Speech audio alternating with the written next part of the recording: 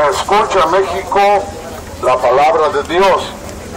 Así dice la santa palabra de Dios en el Evangelio de San Mateo, capítulo 6, versículo 33. Pero primero busca el reino y la justicia divina, todo lo demás vendrá a ti por añadiduría. Pero primero busca el reino y la justicia divina, todo lo demás vendrá a ti por añadiduría. En estos últimos tiempos, la gente no está creyendo que las morales, éticas, virtudes de la sociedad se están perdiendo y están decayendo. Mucha gente no ha querido ver la decadencia estamos viviendo. La decadencia en todos los aspectos, morales, físicos, éticos, espirituales. Podemos mirar alrededor del mundo cuántos desastres naturales están habiendo. Las noticias nos están anunciando la gran inundación que hubo en Indiana en los Estados Unidos con Norteamérica. Cientos de personas perdieron sus casas, perdieron sus propiedades, perdieron su trabajo, algunos su salud. Mucha gente no quiere entender que estamos viviendo o empezando a vivir la gran tribulación. Hay mucha hambre por donde quiera. La hambruna está aumentando. Hay una gran cantidad de gente desempleada. Buscando empleo. El mundo se está preparando para una gran guerra. Los gobernadores más poderosos, los reyes más poderosos, los presidentes más poderosos, están armando a sus naciones hasta los dientes con el mejor armamento,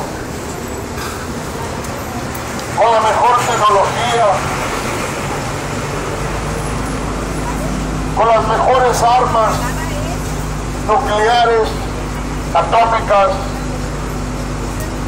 armas de destrucción masiva, proyectiles, tanques de guerra, armada infantil, así como armada en lo que conocemos como la armada naval, no nombrando la armada aérea, la fuerza aérea que el mundo está adquiriendo. El mundo está adquiriendo un poder de grandes proporciones destructivas para el mismo hombre. El mundo está adquiriendo un poder de grandes proporciones destructivas para el mismo hombre. Todo esto Jesucristo anunció que acontecería. Muy poca gente está queriendo ver y entender que los gobiernos del mundo nos están creando problemas a nosotros los ciudadanos. El gobierno le está creando al ciudadano un problema que no tiene. Nos están generando carga que no debemos de cargar.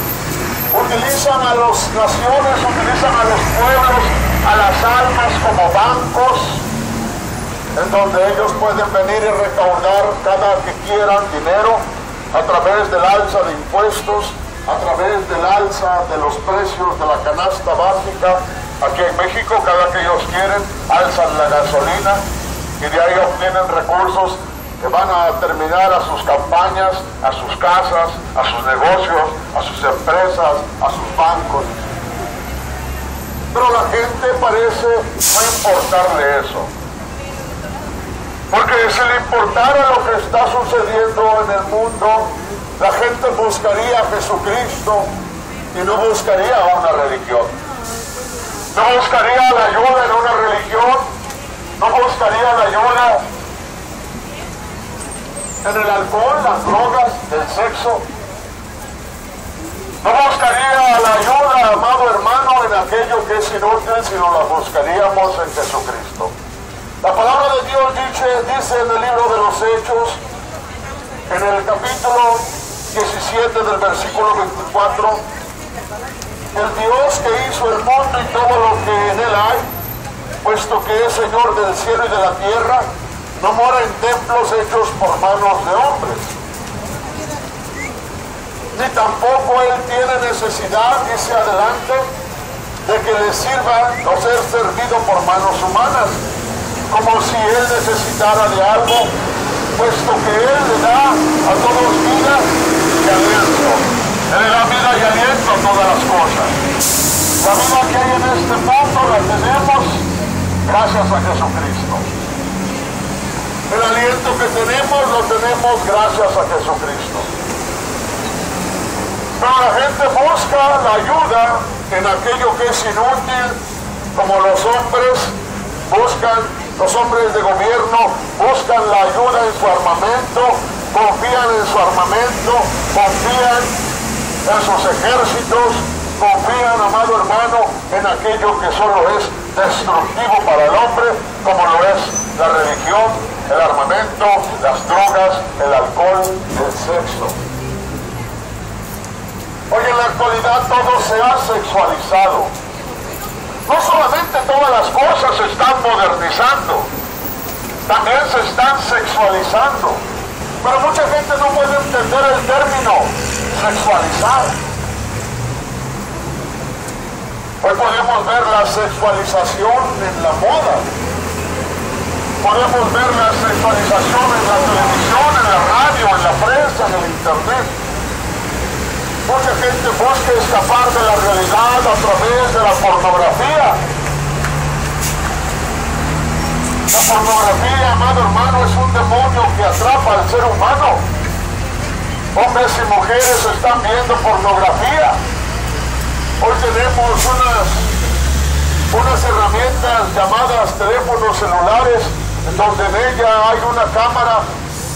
Este teléfono celular es muy fácil conectarlo a la, a la red de internet y a través de ella poder observar gráficas pornográficas, gráficas sexualizadas con contenido homosexual o heterosexual.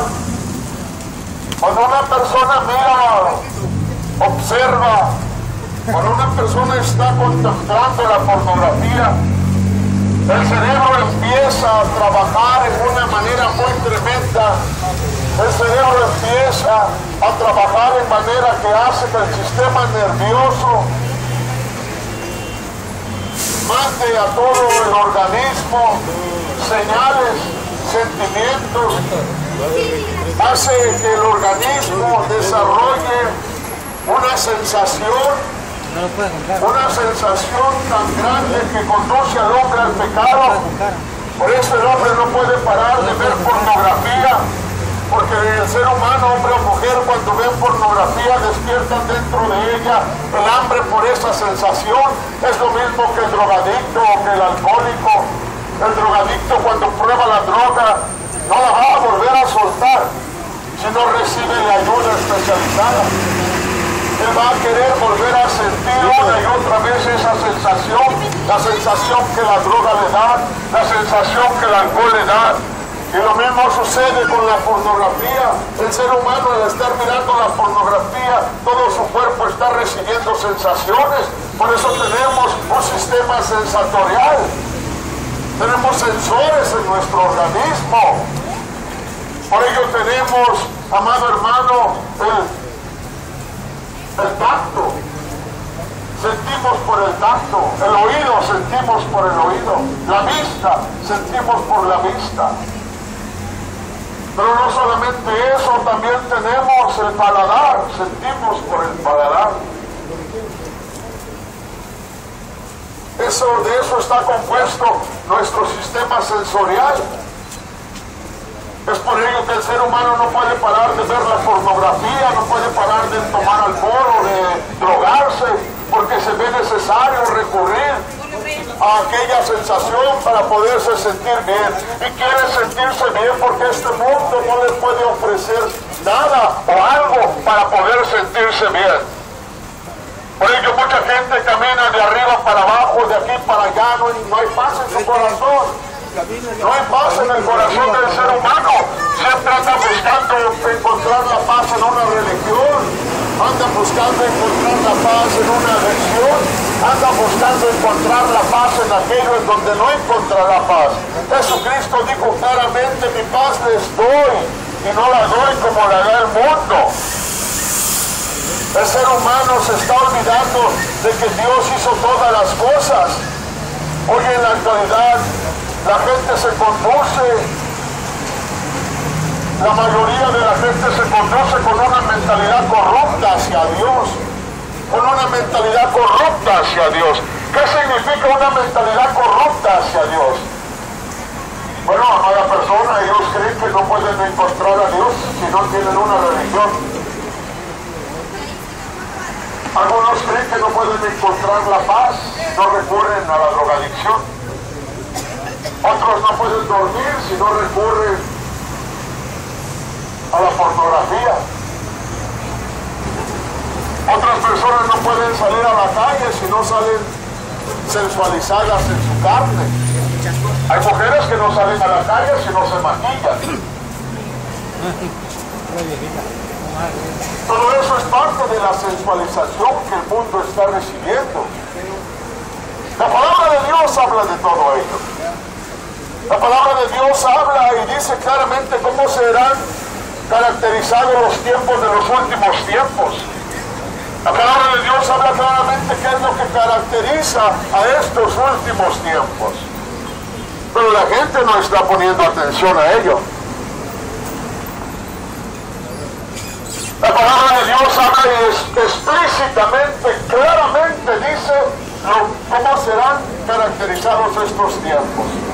En el Evangelio de San Lucas dice el Señor claramente lo que va a suceder y lo que está sucediendo en estos tiempos. Él nos da, nos habla proféticamente y nos hace saber para que no seamos fácilmente engañados como mucha gente es engañada. En el Evangelio de San Lucas, en el capítulo 21, dice, entonces se levantará nación contra nación y reino contra reino. Habrá disturbios, habrá guerras, habrá enfrentamientos, habrá conflictos.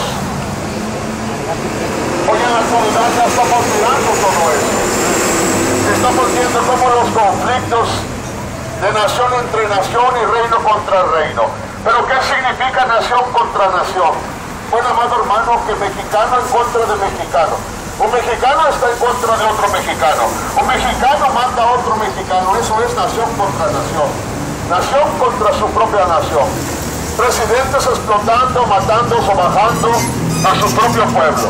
Eso significa nación contra nación. Autoridades federales, estatales y municipales agrediendo a su propia gente. Agrediendo a